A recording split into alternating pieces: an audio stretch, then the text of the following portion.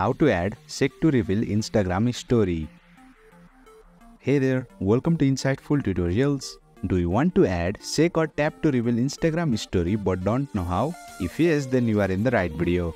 Without further ado, let's learn how to add shake or tap to reveal Instagram story. Open Instagram on a device. You will land on its official homepage. Tap on the plus button. At the very bottom, you will see a navigation menu.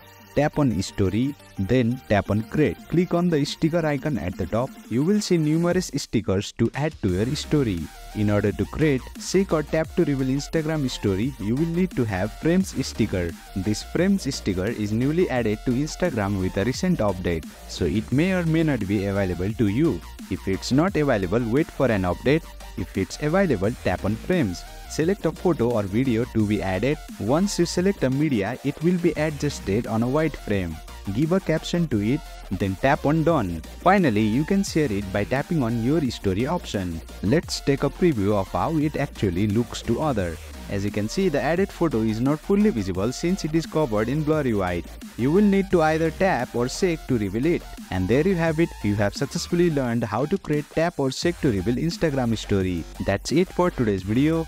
If you found this video insightful, please don't forget to hit the like button and make sure to subscribe to our channel for more insightful tutorials.